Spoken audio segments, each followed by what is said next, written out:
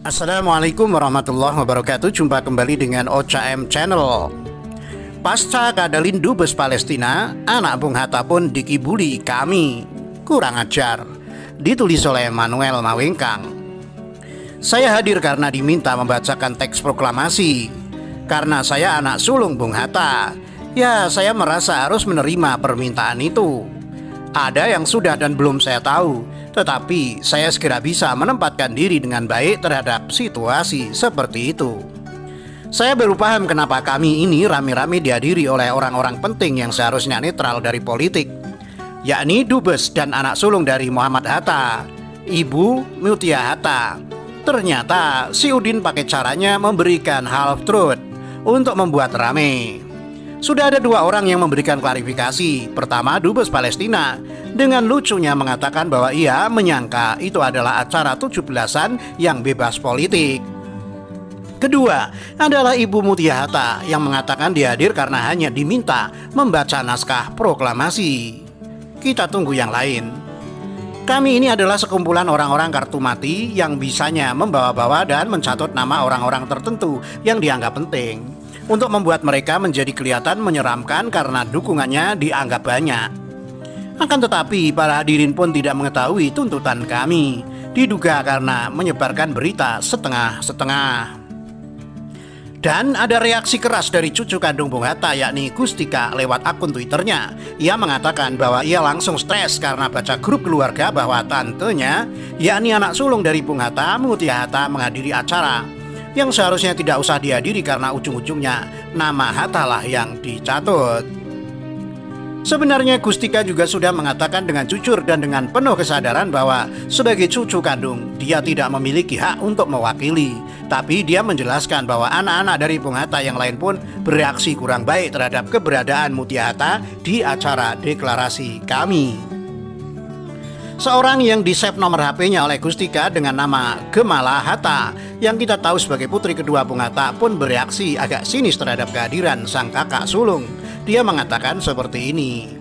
Saya belum dapat penjelasan dari kakak tentang hal tersebut. Yang jelas keluarga Hatta bukan pengikut Amin Rais. Keluarga untuk Indo Raya pun bukan dengan cara serampangan. Ini jawabanku ke penanya N yang posting itu. Lalu di bawahnya sudah ada rekaman chat Mutiata yang menuliskan hal yang mengindikasikan dirinya kena tipu. Saya juga tidak tahu siapa-siapa yang datang. Yang jelas tidak lihat Amin Rais. Titi ada tapi baru lihat belakangan. Kemudian di screenshot lainnya, Gustika memposting kalimat dari Halidah Hatta, yakni sang ibu terkait keberadaan Mutia Hatta di acara tersebut. Menempelkan nama putri proklamator, sedangkan Bung Hatta tidak pernah jadi disiden dan Prof Mutia selalu integritas terhadap negara.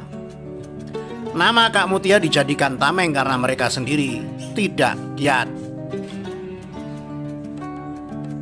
Bahkan di cuitan lainnya, Gustika memposting screenshot tentang uh, reaksi Mutiata yang tertipu mentah-mentah. Ya, baru tahu sekarang. Saya diminta baca naskah proklamasi diundang bersama SES oleh Batiar Hamzah. Dia teman baik saya. Lalu ada Din Samsudin. Baru tahu kalau ini pari grup yang sama. Saya sudah di halaman teman patung proklamator. Tapi lebih baik saya daripada orang lain. Saya minta jangan kasar. Orang lain tidak didengarkan. Saya harap saya bisa didengar. Gak percaya? Nih, screenshot dari Gustika.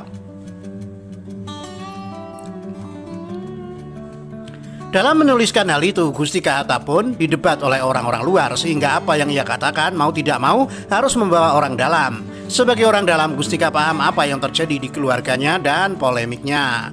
Mutia sang tante tertua pun juga merasa ditipu. Lah, lalu apa yang mau didebatin oleh netizen culit? Saya teringat kejadian Gustika mempermalukan orang-orang Gerindra seperti Daniel Anzar dan Valdo Maldini saat sebelum kemenangan Jokowi di tahun 2019 silam. Saya melihat bagaimana kami ini adalah sebuah gerakan yang sangat berbahaya. Mereka berani-beraninya mencatut nama-nama orang besar dan luar negeri untuk membesarkan nama mereka sendiri, padahal orang-orang besar itu tidak tahu apa yang sebenarnya terjadi. Mereka ini harus dibongkar dan dibubarkan. Saya nggak tahu sih mekanisme pembubaran kami ini bagaimana, tapi alangkah lebih baiknya jika yang melaporkan untuk menuntut pembubaran kami adalah orang-orang yang pernah datang ke deklarasi tersebut dan merasa tertipu. Mulai dari Dubes Palestina, kemudian Ibu Mutia Hatta, karena dua orang ini sudah angkat bicara terkait kehadiran mereka. Bubarkan si Udin. Begitulah bubar-bubar, ditulis oleh Manuel Mawengkang dilansir dari siwet.com. Demikian, wassalamualaikum warahmatullahi wabarakatuh.